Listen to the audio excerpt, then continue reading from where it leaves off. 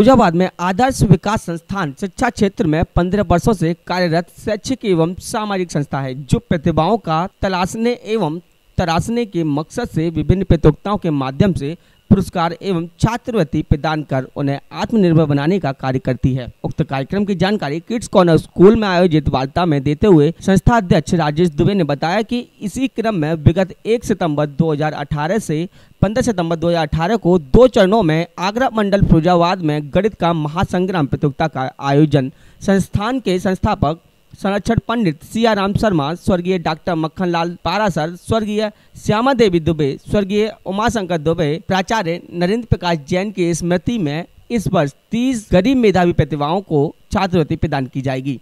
प्रतियोगिता तीन वर्ग में होगी। प्रथम वर्ग में कक्षा छह से आठ तक, दूसरे में नौ से दस तक, तीसरे में कक्षा ग्यारह से बारह तक की प्रतियोगिता हिंदी अंग्रेज़ी में होगी। फिरोजाबाद मैनपुरी में आठ सितंबर, इटावा में उनतीस सितंबर आगरा में 6 अक्टूबर परीक्षा संपन्न होगी। प्रथम स्थान पर लैपटॉप, दूसरे स्थान पर रेंजर साइकिल, तीसरे स्थान पर क्रिकेट किट। इसके अलावा 350 पुरस्कार भी होंगे। वार्ता के दौरान किड्स कॉर्नर स्कूल के प्रबंधक मयंक भटनागर भी उपस्थित रहे।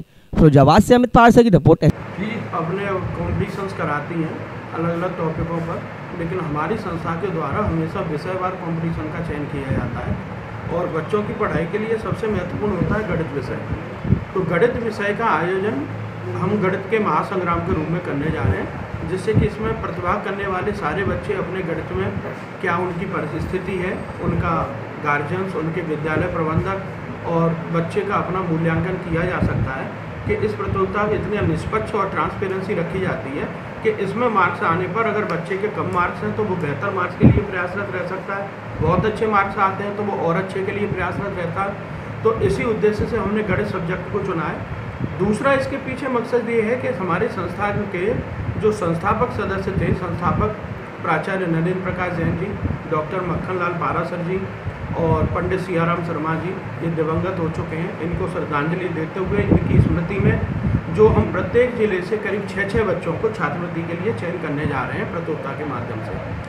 तो इन्हीं संस्थापक सदस्यों के नाम से और इन्हीं की स्मृति में हम ये हर वर्ष के लिए तीस छात्रवृत्तियों की घोषणा कर रहे हैं कि जो मंडल स्तर पर हमारे संस्थान द्वारा दी जाएँगी। और जो प्रतियोगिता है, वो फ़र्स्ट सितंबर को फिरोजाबाद जनपद में आठ सितंबर को मैनपुरी जनपद में, उनतीस सितंबर को इटावा जनपद में 6 अक्टूबर को आगरा जनपद में और 27 अक्टूबर को एटा जनपद में होने जा रही है। और इन पहली प्रतियोगिता के राउंड में जो 50 परसेंट बच्चे मार्क्स लाएँगे, उनको डिस्ट्रिक्ट लेवल की प्रतियोगिताओं में पार्टिसिपेट करने का मौका मिलेगा और डिस्ट्रिक्ट लेवल से प्रत्येक क्लास से टॉप सेवन बच्चे छांटे जाएँगे, जो कि सेवेंटी स्टूडेंट होते हैं, पाँचों जिलों से मिला के तीन सौ पचास बच्चे। इन तीन बच्चाओं को विशेष पुरस्कार, विशेष सम्मान, आगरा सूर सदन, संजय पैलेस में दिया जाएगा।